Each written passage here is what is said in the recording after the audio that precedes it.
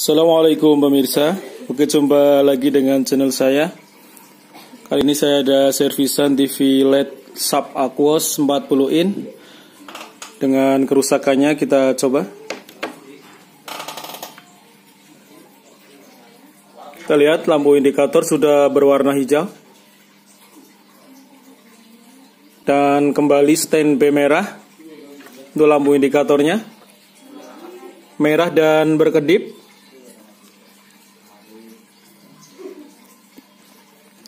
Oke untuk sub ini kita lihat di belakang tombolnya hanya tombol power. Kita lihat hanya menggunakan satu buah tombol dan fungsinya sebagai tombol power.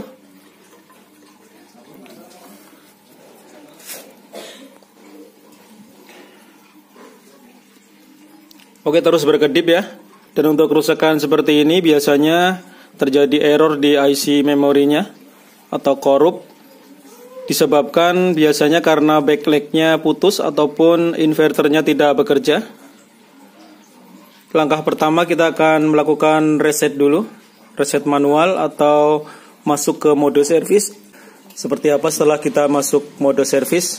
Nanti jika TV-nya tetap tidak nyala berarti dari backlightnya ataupun inverternya dan kita harus membongkar TV-nya.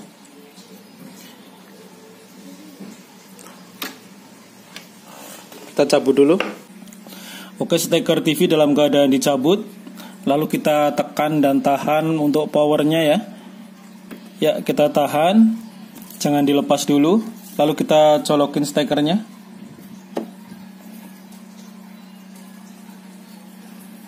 Kita saksikan sampai lampu menyala kita lepaskan.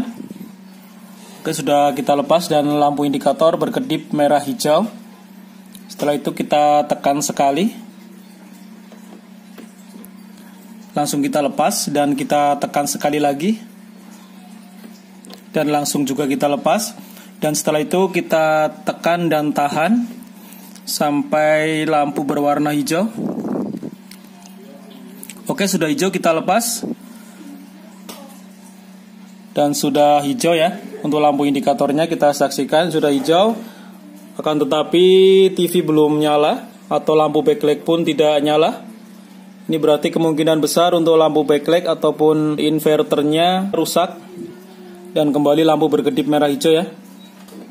Ini bisa kita tekan lagi dan tahan sampai lampu kembali hijau. Oke sudah hijau kembali namun TV tetap tidak nyala. Oke kita harus membongkar TV-nya. Kita bongkar dulu TV-nya. Oke TV sudah kita buka. Dan kita lihat di sini adalah PSU-nya atau power supply unitnya. Ini sekaligus dengan inverter backlight di sini ya. Ini kabel menuju lampu backlightnya.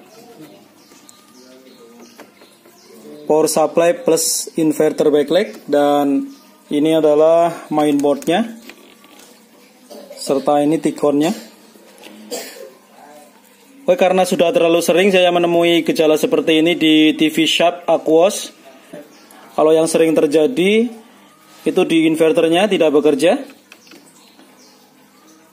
Dan yang paling sering saya temui adalah kerusakannya di dioda output inverternya. Ini saya sudah sangat sering di TV Shop Aquos dioda ini short ataupun korslet ya. Kita cek dulu untuk diodanya, jadi kita tidak memakan waktu lama. Nanti kalau sudah kita pastikan dioda ini tidak short, baru kita cek di lampu backlightnya. Oke, kita gunakan skala kali 1 ohm. Kita perhatikan untuk jarum testernya. Oke, untuk prop merah dan prop hitam tidak perlu kita pikirkan, langsung saja kita sentuhkan di dioda. Nanti kita balik.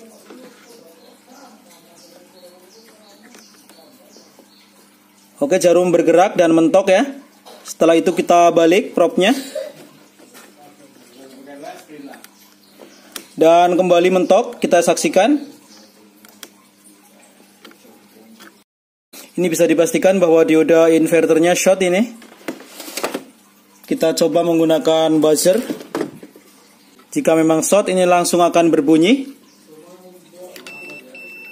Oke, berbunyi. Dan kita balik. Tetap berbunyi. Oke, bisa kita pastikan memang diodanya yang short ataupun korslet ya. Langsung kita eksekusi saja. Kita lepas diodanya.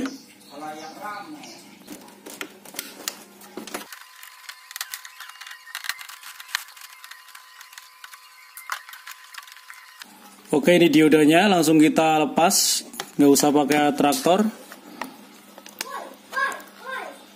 kita tarik saja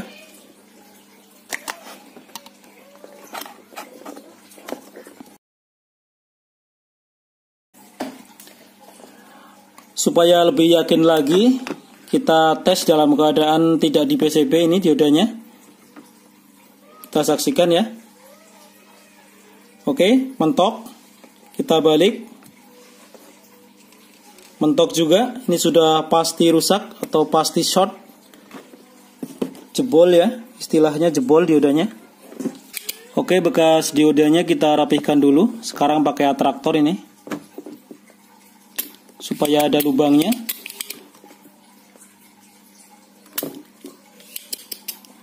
dan seperti biasanya untuk mengganti dioda ini saya seringnya menggunakan dioda dari mesin TV tabung, tepatnya di dioda B+ ya, karena sudah sering saya lakukan. Dan jika menggantinya dengan dioda yang sama, sama seperti ini, biasanya akan rusak lagi ya, karena saya sudah pernah mengalaminya, sehingga saya memodifikasinya dengan menggunakan dioda dari bekas mesin sharp TV tabung. Ini diodanya.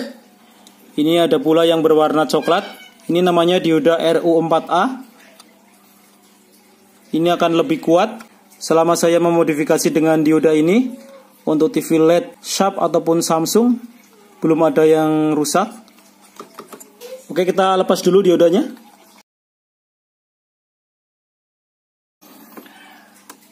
Oke, dan dioda sudah saya lepas. Ini tulisannya RU4A. Langsung saja kita pasangkan di inverter ini. Awas jangan terbalik untuk yang ada garisnya ini di bagian samping sesuai dengan lambangnya ini. Ini anoda dan katodanya. Oke, seperti ini.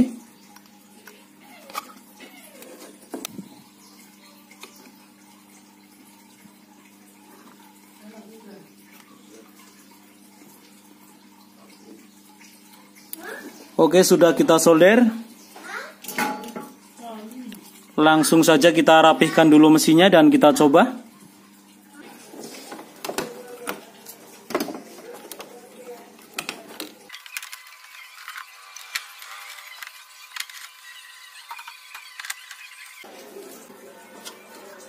Oke untuk soket ke backlight jangan kita pasang dulu Kita pastikan backlightnya masih hidup Kita tes dulu dengan menggunakan backlight tester Oke ini saya menggunakan backlight tester rakitan sendiri dengan menggunakan dua buah trafo. Ini propnya.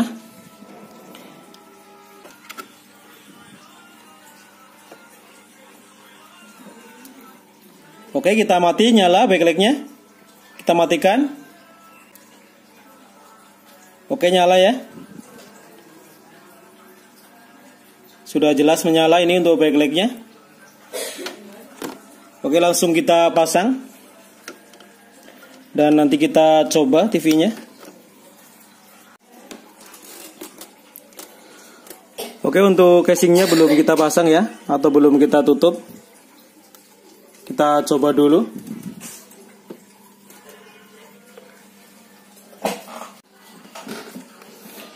Oke kita colokin stekernya.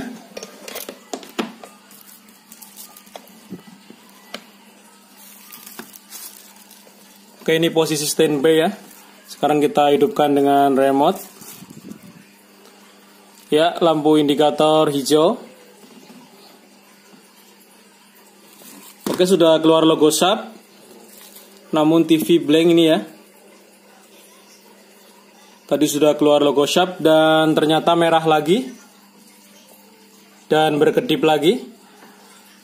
Dan ini berarti untuk inverter dan backlightnya sudah normal Sekarang tinggal kita masuk ke service mode seperti cara di awal. Oke, kita tekan tombol powernya dan kita tahan, jangan dilepas. Lalu kita colokin stekernya. Tunggu sampai lampu menyala. Dan kita lepaskan. Sudah berkedip merah hijau. Lalu kita tekan. Ya, langsung lepaskan. Dan tekan lagi. Juga langsung lepaskan. Dan sekarang kita tekan dan tahan sampai lampu berwarna hijau. Oke, lampu sudah hijau.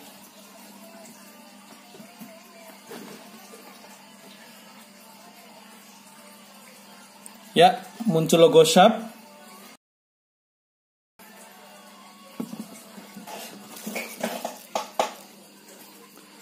Selanjutnya kita arahkan kursor ke service mode paling bawah. Dan kita tekan enter.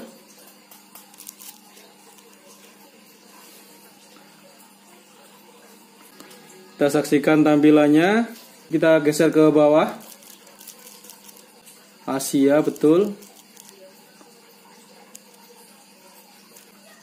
Untuk EEP clear kita geser ke on.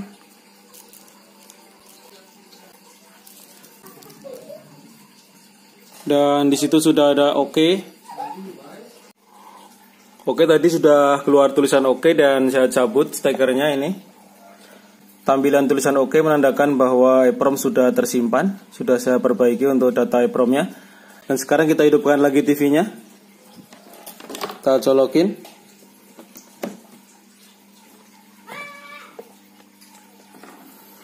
Oke, lampu indikator langsung hijau.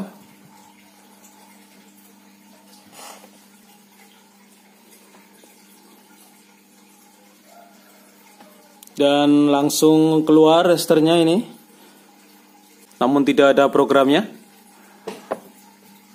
Video saya skip dulu untuk memprogram siarannya. Oke, sudah selesai saya program dan hasilnya celing ini. Oke, cukup sekian video saya untuk kali ini. Semoga bisa bermanfaat untuk kita semua. Assalamualaikum warahmatullahi wabarakatuh.